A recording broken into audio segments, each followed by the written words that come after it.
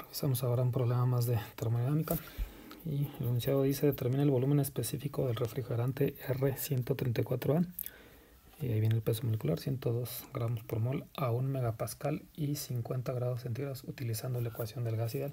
Cuatro respuestas muy parecidas, no podemos descartar ninguna. Las unidades son las esperadas, volumen específico, metros cúbicos por kilogramo, también puede ser metros cúbicos por mol.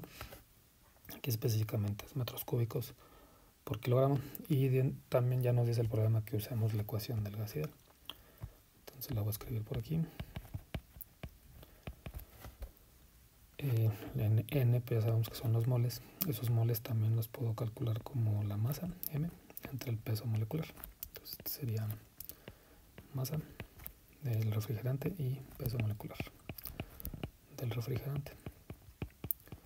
Si sustituyo entonces por acá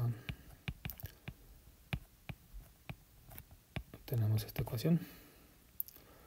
Y es preciso hacer ese cambio porque lo que nos están preguntando es el volumen específico que no es otra cosa que el volumen dividido entre esa masa entonces si lo tomamos si de esta ecuación de esta aquí eh, despejamos para b sobre m que como digo es b, b que generalmente es la adición este guion eh, vamos a obtener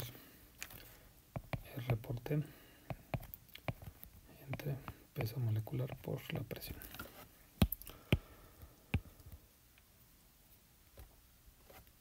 Y pues lo, que resta del problema pues ya nada más es sustituir, sustituir valores.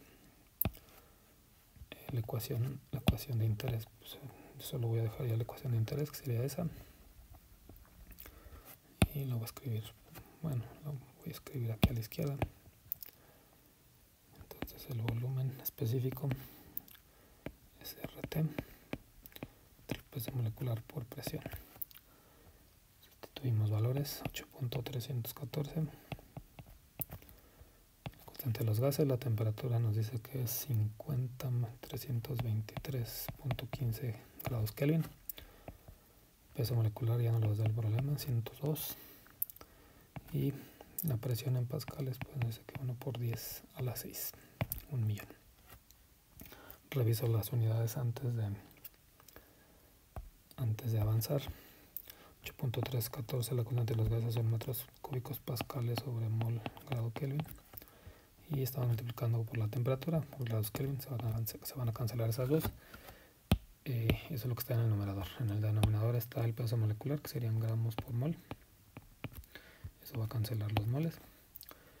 Y en el denominador está la presión en pascales que va a cancelar esta acá.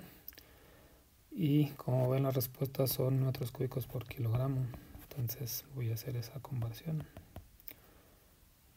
Y eso implica que tendremos que meter el factor de conversión mil gramos es un kilogramo. Y entonces sí obtendremos las unidades de metros cúbicos por kilogramo. Aquí hay que multiplicar por mil hacemos operaciones y vamos a obtener este resultado. Y revisamos las respuestas y pues es la D